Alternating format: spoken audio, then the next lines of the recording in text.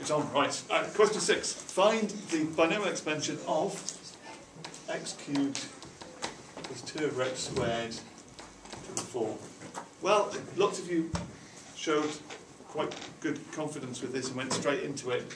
I, maybe if I'm being extra careful, I might have done that first and said it's a to the 4 plus a power of 4. We could probably just do it from Pascal's triangle, couldn't we? You know, we could do a little uh, sketch out Pascal's triangle. The next row is the one that matters, 1, 4, 6, 4, 1, there it is. So that's 4 a cubed b plus 6 a squared b squared That's plus 4 ab cubed plus b 4. So in, the, in terms of what we're dealing with,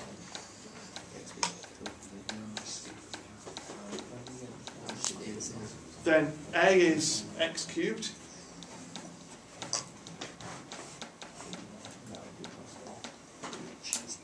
b is 2 over x squared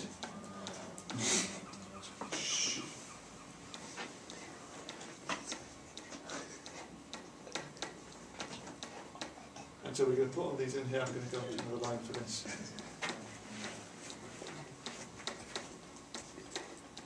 It's a lot of writing isn't it And this is the bit where we're going to be careful with our powers. So what have we got? We've got x cubed to the 4. Now, that one, you do multiply the powers, don't you? That's x to the 12.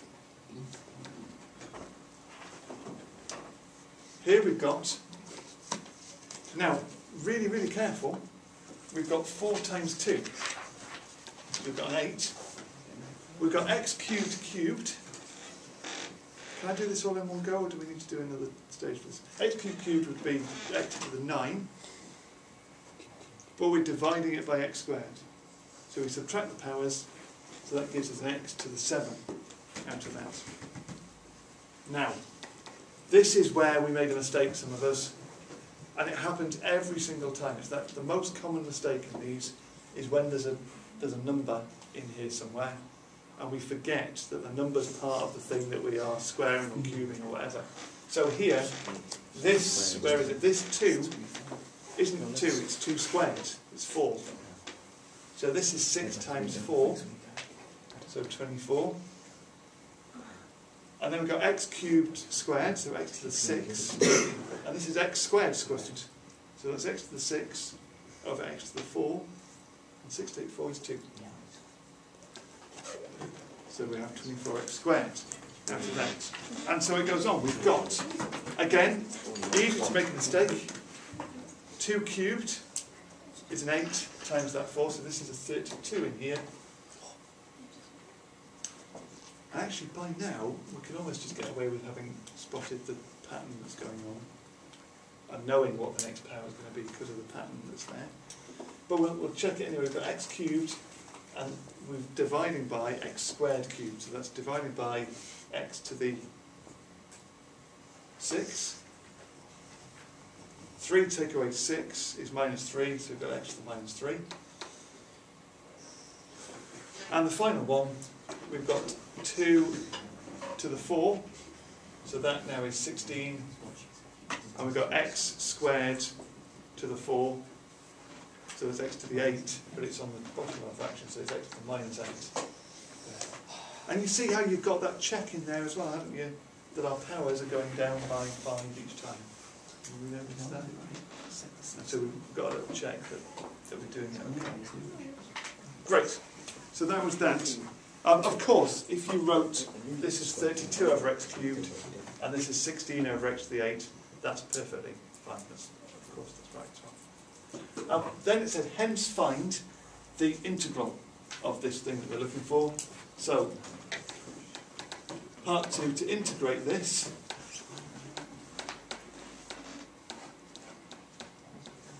it's like, well this, this is, this is hence.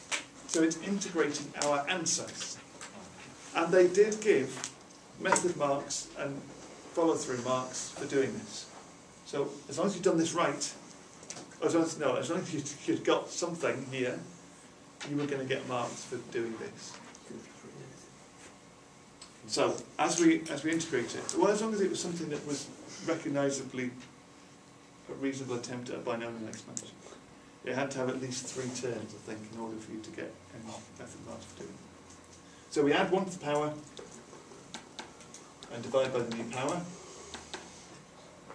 Add one to the power and divide by the new power. The 8's going to cancel out there, isn't it? So that's x to the 8. Add 1 to the power, makes it x cubed. 24 over 3 is 8. Add 1 to the power, being careful because it's negative and you know, we don't go the wrong way, makes that a minus 2.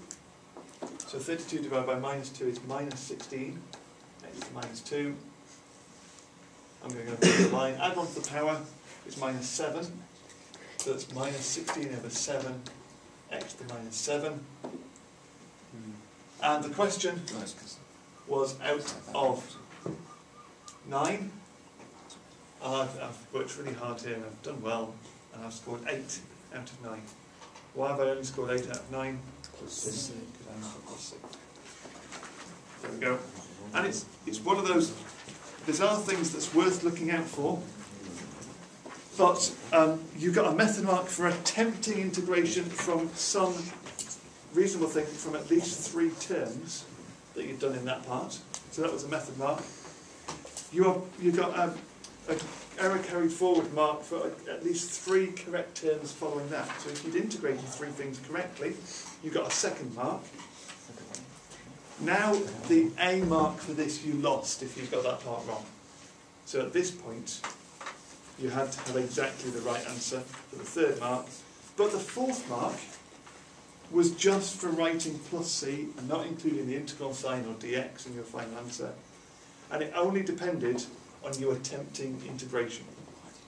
So if you got that, that first attempt integration mark, even if it was a load of rubbish, if you properly attempted integration and you'd remember to put plus c and lose the integral sign of dx, then you got the, the fourth mark. Um, really important, I, I don't think any of you did it, but you've got to remember, once you integrate, you don't write curly integral sign, you don't write dx. As soon as you integrate, you mustn't write that anymore, because we will lose marks. And that's maths.